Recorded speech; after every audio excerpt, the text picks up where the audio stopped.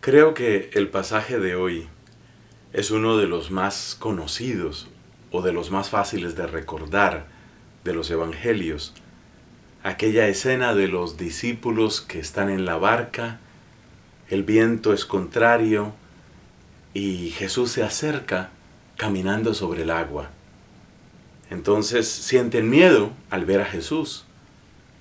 Pedro dice, si eres tú, manda que yo vaya sobre el agua y alcanza a caminar un poco, pero luego vuelve a sentir miedo al, experimentar la fuerza del viento. Vuelve a sentir miedo y se empieza a hundir y exclama, Señor, sálvame. Cristo lo salva. Bueno, la escena es conocida, es fácil de recordar. Yo quiero que hoy nos detengamos en esas dos experiencias de miedo. Seguramente has observado que la palabra miedo aparece dos veces. Primero, Pedro y los demás apóstoles sienten miedo al ver a Jesús que se acerca. Y luego, Pedro, esta vez solo Pedro, cuando está sobre el agua, siente miedo. Siente miedo por la fuerza del viento. Dos momentos de miedo. Miedo al ver que Jesús se acerca, miedo al sentir la fuerza del viento. Hagamos una interpretación alegórica de esos dos miedos. ¿Cómo podemos aplicar esas dos experiencias de miedo a nuestra vida? Por ejemplo, podemos pensar que a veces se siente miedo cuando Jesús se acerca. Y uno podría decir, pero qué miedo le voy a tener a Jesús sobre esto habló el Papa Benedicto en la Jornada Mundial de la Juventud que sucedió hace unos pocos años en Colonia. Benedicto decía a los jóvenes que Jesús no viene a robarnos nada, pero la advertencia del Papa denota algo que es muy profundo en el corazón humano. Es el miedo a que Dios me quite lo que yo no quiero que salga de mi vida.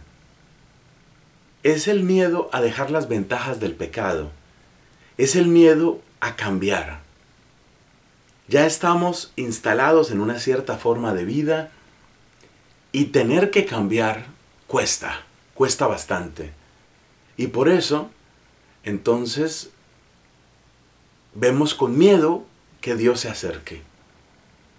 Así, por ejemplo, hay parejas que saben que lo mejor sería casarse, pero tienen miedo de que el sacramento del matrimonio y los compromisos asumidos ante la iglesia sean demasiado para ellos.